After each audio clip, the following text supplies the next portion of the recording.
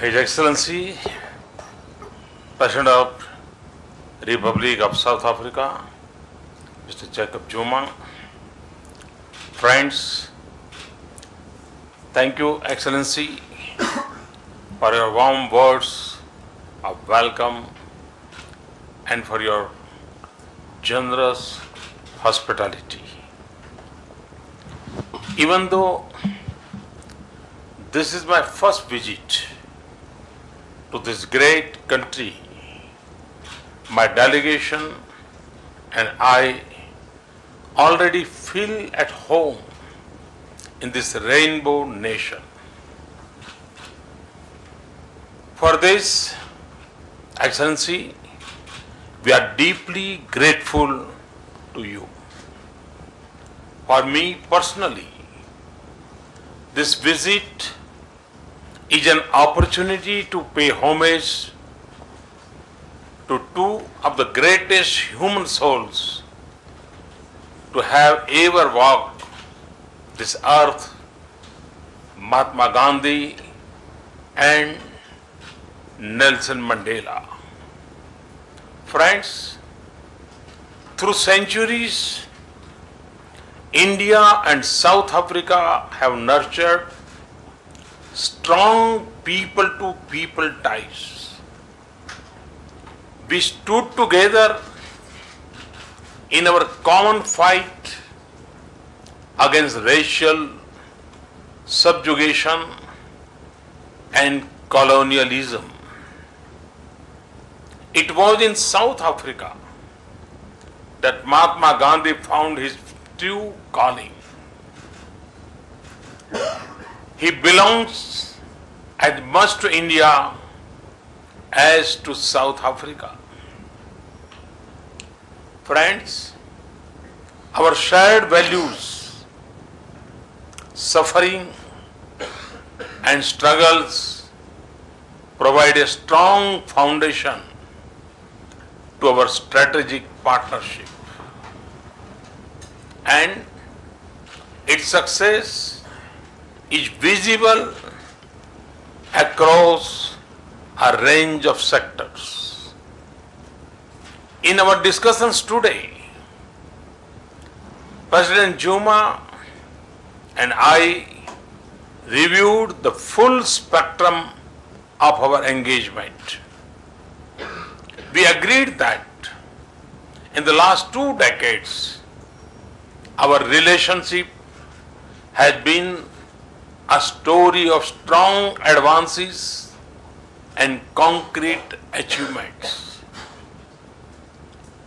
Two-way trade and grown by over 300% in last 10 years. Indian companies hold strong business interests in South Africa. About one fourth of our investments in Africa are in this country. And there is potential to expand our business and investment ties further, especially in the areas of minerals and mining, chemicals and pharmaceuticals, high technology manufacturing, and information and communication technology. I am convinced that industry to industry ties can not only bring rich economic gains to our societies, they can give a new shape to our partnership and drive it to new levels. And in the process, also help both our nations to play a more robust regional and global role. Later today, the President and I will sit down with the business leadership of the two countries to identify synergies in our engagement. Friends, the nature of our developing economies demands that our engagement should also focus on improving our human capital. Our capacities and needs in the fields of vocational, technical, and professional education complement each other and can benefit both our people. India is also ready to share its experiences and capacities for the development of small and medium businesses in South Africa. Beyond economic ties and links of businesses, trade and investment, we can also partner in the field of defense and security. Both at the level of industry and for our strategic and security needs. In India, this is one of the sectors witnessing a complete transformation. It offers existing opportunities in defense trade. Our companies can also pool their capacities to joint develop our manufactured defense equipment and platforms. And not just to meet our defense needs, but also to respond to regional and global demand. Friends, President Zuma and I also agreed on the need to work more closely on international issues and emerging global challenges.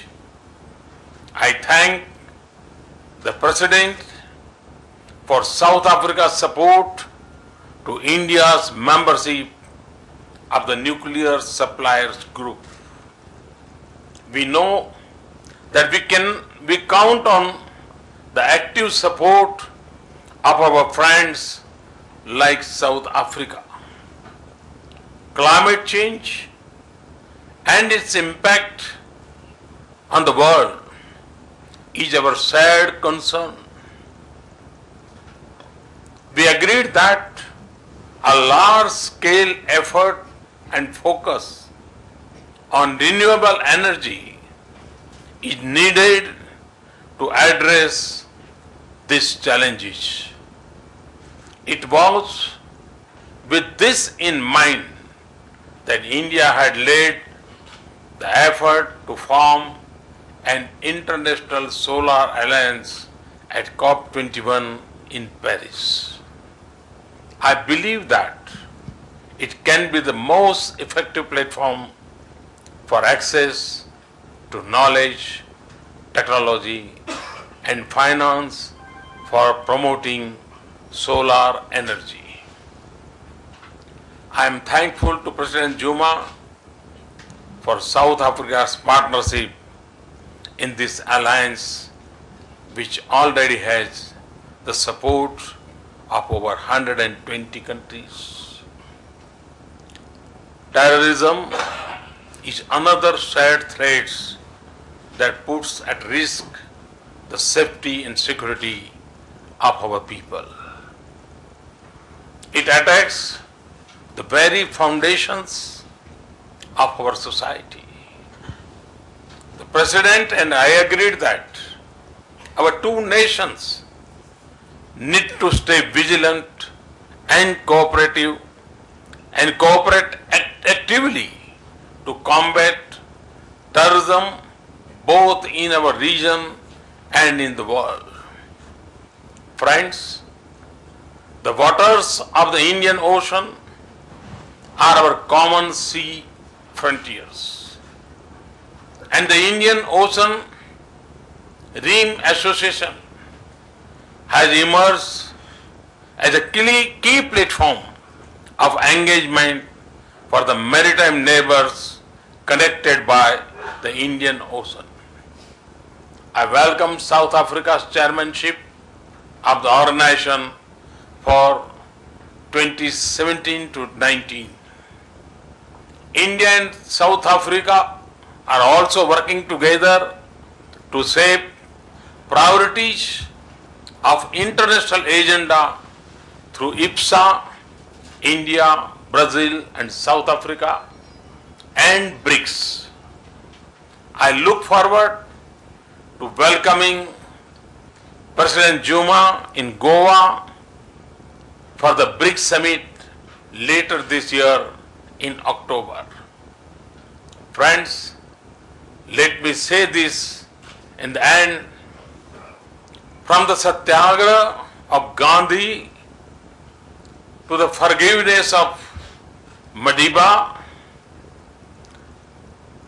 from ports of Gujarat to the shores of Durban, united by our shared values and common struggles in the vast opportunities of our oceans and economies and through the spirit of Vasudhaiv Kutumbakam and Ubuntu, our relationship has been a story of resolve, determination, justice, and the excellence of human endeavor. It is truly exceptional and unlike any other.